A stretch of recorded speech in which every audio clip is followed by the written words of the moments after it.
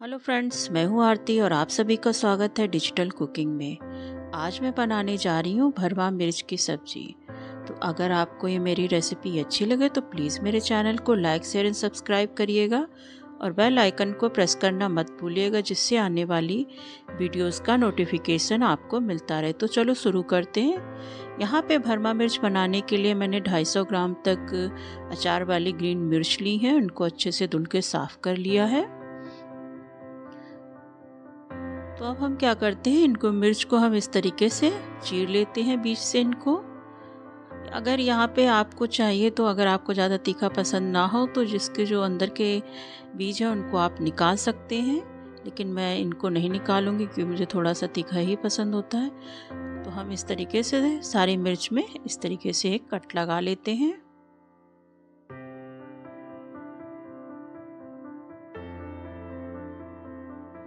इसी तरीके से हम सारी मिर्च को अच्छे से कट लगा लेंगे।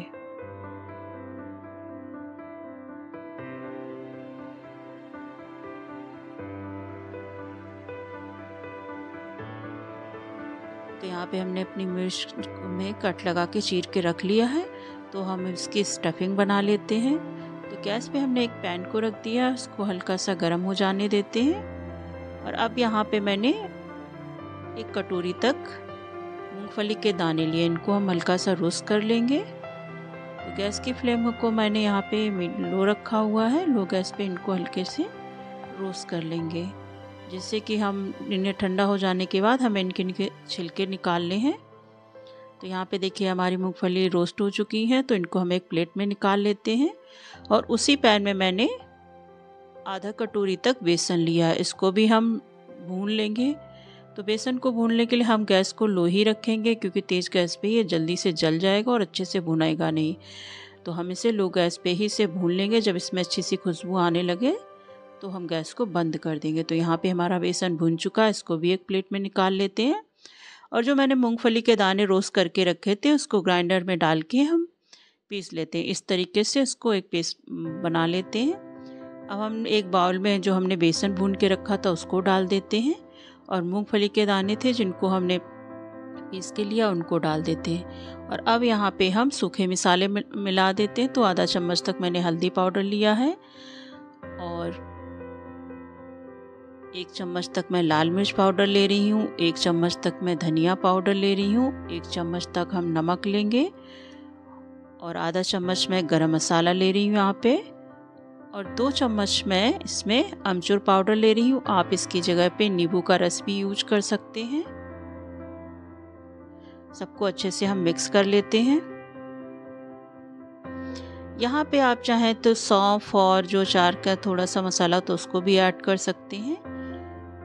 अब इसमें मैं दो से तीन चम्मच तक रिफाइंड ऑयल यूज़ कर रही हूँ, उसको मिक्स कर देते हैं। अब इसे अच्छे से हम मिक्स कर लेते हैं।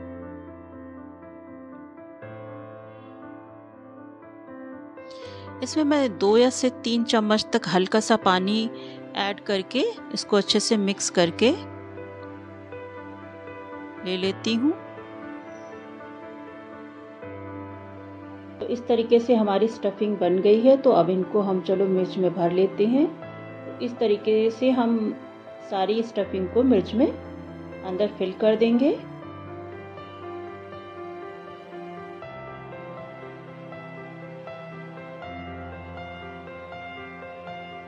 इस तरीके से मिर्च को अच्छे से मसाले से फिल कर देंगे।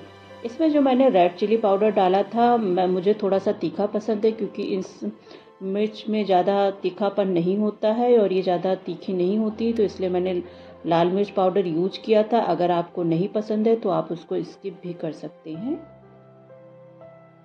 तो हम इस तरीके सारे से सारी मिर्च में मसालों को अच्छे से फिल कर लेंगे।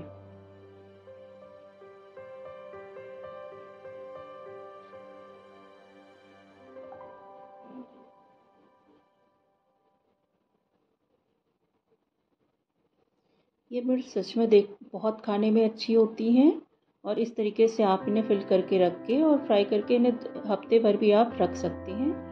तो ये हमारी मिर्चें अच्छे से फिल हो चुकी हैं। तो चलो हम इनको अब अच्छे से फ्राई कर लेते हैं। तो फ्राई करने के लिए मैंने गैस पे एक पैन को रख दिया है पैन को थोड़ा सा गर्म हो जाने देते हैं। और अब इसमें मैंने दो चम्मच तक रिफाइंड ऑयल यूज़ किया। आप चाहें सरसों का तेल, जो भी वेजिटेबल ऑयल है, उसको आप यूज़ कर सकते हैं। तेल को थोड़ा सा हम गर्म हो जाने देते हैं। और गैस की फ्लेम को मैंने यहाँ पे लो मीडियम रखा है। और यहाँ पे मैं आधा चम्मच तक राई ऐड कर रही हूँ। आप राई की जगह पे जीरा या मस्टर्ड सीड जो आपको ठीक लगे, वो आप यूज़ कर सकते हैं। राई को थोड़ा सा हम चटक जाने देते हैं। और अब यहाँ पे मैं आधा छोटे चम्मच तक इसमें हींग ऐड करूँगी। हींग से इसका टेस्ट और ज़्यादा बढ़ जाता है। और अब यहाँ पे मैं आधा छोटे चम्मच तक हल्दी ऐड करूँगी।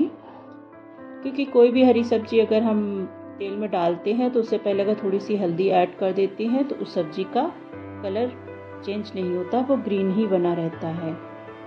इस तरीके से हम अब क्या करेंगे? सारी अपनी जो हर मिर्च है, उनको इसमें अच्छे से डाल दे रहे हैं।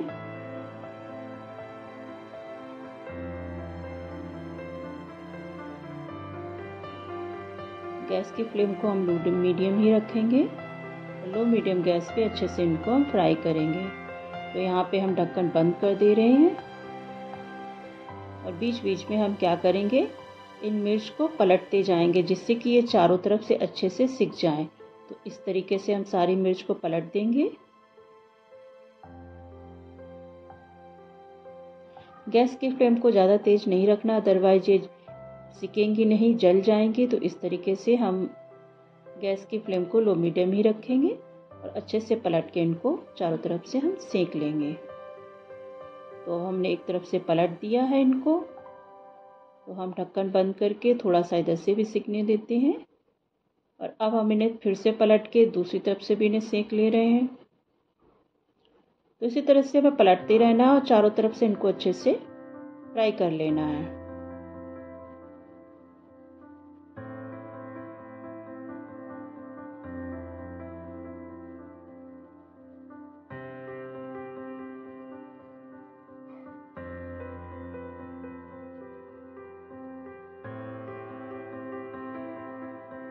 इस तरीके से बना के आप एक हफ़्ते तक इनको रख भी सकते हैं।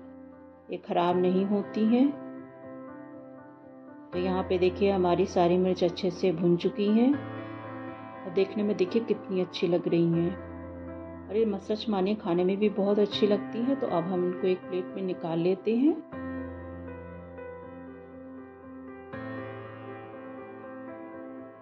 ये देखिए, हमारी भरमा मिर्च बनकर तैयार हो चुकी हैं। आप इन्हें ऐसे ही पराठा या रोटी के साथ खाएँगे तो भी बहुत अच्छी लगती हैं ये। तो अगर आपको मेरी रेसिपी अच्छी लगे तो प्लीज़ मेरे चैनल को लाइक शेयर एंड सब्सक्राइब करिएगा और बेल आइकन को प्रेस करना मत भूलिएगा, जिससे आने वाली वीडियोस का नोटिफिकेशन आपको मिलता रहे। तो चलो मिलते हैं एक फिर से एक नई वीडियोस के साथ। तब तक के लिए गुड बाय